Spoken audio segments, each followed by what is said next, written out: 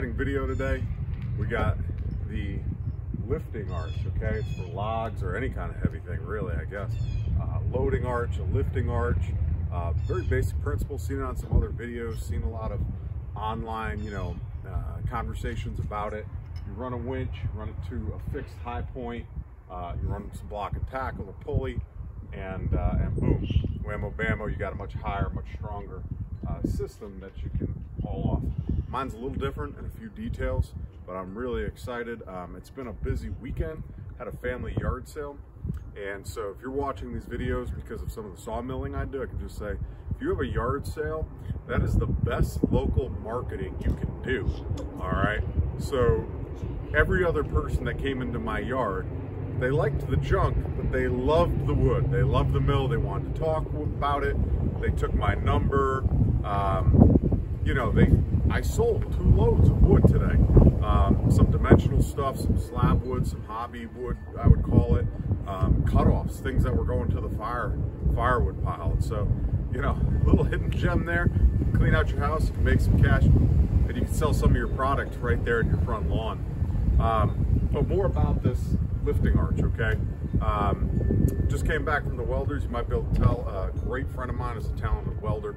Uh, he's made this thing strong. Obviously, the last thing want if you're moving logs, a couple thousand pounds plus, is any kind of a serious injury. Um, we're gonna be trying it out here in just a few minutes. Uh, you can tell it's fresh from the well; welder, still got the marks. So real quick, I'm gonna hit it with the Rust-Oleum, and then we're gonna take this thing on the road for a test drive. All right. Oh, again, I'm. this isn't my full-time deal, but I started off with a little F-150 and a landscape trailer, okay? Trying to lift logs over my shoulder, okay? So we've come a long way. I just want to encourage anybody who's out there, like, how do I get to this level? You know, it's taken two years, but slowly but surely, you know, sell, trade, and upgrade, baby. All right, and so what you're looking at here is an 04 F350. It is a gas job, but that's all right with me. So it's a windy day up here in New England. Try not to judge the uh, spray paint job too harshly. We're just trying to prevent any uh, quick flash welding. Before I got into that, I did want to take a moment to talk about my rig. I have built a lifting arch before, and at some other point, I, I might um, include that in a video and talk about that. It was a little landscape um, trailer, single axle, okay? And I ran the little Harbor Freight, uh, you know, $50 special winch on it and it was phenomenal. And so if you're out there and you're thinking, I'm a beginning sawyer, I just got my first mill, whatever, um, that trailer is still in use by my father, okay? Uh, getting uh, a lot of work out of it, logs, stone, anything heavy. I mean, he, he, he puts things on pallets and brings it up ramps onto his trailer because he doesn't want to buy a tractor, I guess. But I want to talk about this rig right here, okay? I was able to pick this rig up for a thousand bucks, okay? It was a double axle trailer. It needed two tires out of four.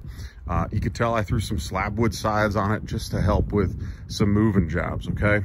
When I had it, I, uh, I just did a quick, um, you know, lying around toolbox from an old Ford Ranger, you know, put some plate down, bolted it in, there you go, okay? That's where I run, you know, my battery, okay, my tongs, all that is in here. All right. So there's the battery setup. You can see i got a bunch of hitches ropes that kind of thing ratchet straps. All the goodies are in here okay?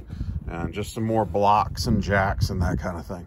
By the way uh, definitely got to clean that up. But what i'm most proud of on this unit here is this unit here okay?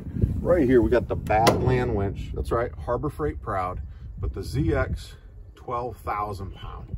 And i'm confident that with this new lifting arch that's going to handle most tasks that I ask of it.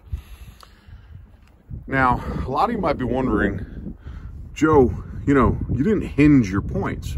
Well, here's my feeling on that. These little two inch receivers are everywhere, standard and cheap. You can get a really, really good, strong contact point. I would say we got maybe eight inches of weld, okay? Right there, all right? And then just run typical trailer pins the arch slides in and out. So if I want this to be a trailer, it can be just a trailer, all right? If I want to put the tractor on here, okay? If I want to, um, you know, use it as a moving trailer with the sidewalls, whatever the case may be, all right? Um, the other thing I'll say is we definitely, again, you know, talented guy. We plated all the joints. All right.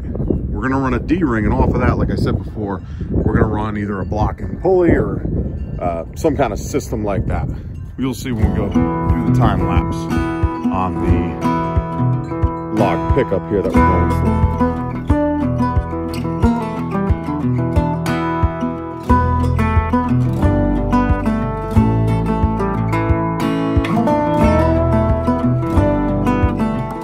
there you have it folks that's all she wrote right there okay? Down and dirty? Yeah. Did i just rust-oleum rattle can that in my driveway? You betcha. Was it windy? Yes. Okay. Was it blown in my face? Yes. Was it a good paint job? No. Did i get some on my hands? You tell me. All right. But at the end of the day all we're trying to do is prevent some rust. I'm excited to go use this thing go try it out. And really you know, how much effort do you want to put into this? Because the truth of the matter is if the log's over here and we're pulling to that point, we're probably going to be rubbing these frames anyway. So we got it done. Let's go get some logs.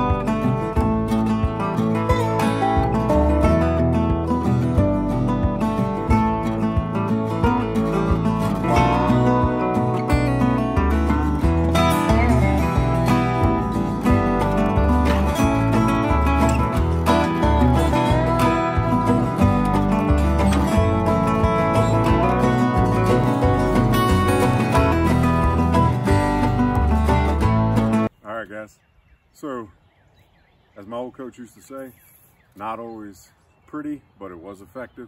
We got the logs on the trailer. We got them home. Uh, real quick, just want to let you know, because uh, I'm sure some of you are curious, we're looking at 152 inches long, so over 12 feet. This one here is 24 at the butt and 32 at the top of the crotch. We got a little guy here uh, that has a very large crotch. That guy there, he's 21 inches, measuring over nine feet. So all in all, we got a, quite a few ton of poplar wood today. Um, it was a good job for us. I think we're gonna go back and get a few more. Um, guy was real friendly, tree job. He just wanted the logs gone. So uh, kind of guy we like to do business with. Um, so enjoy the video. Uh, hit subscribe if you don't already.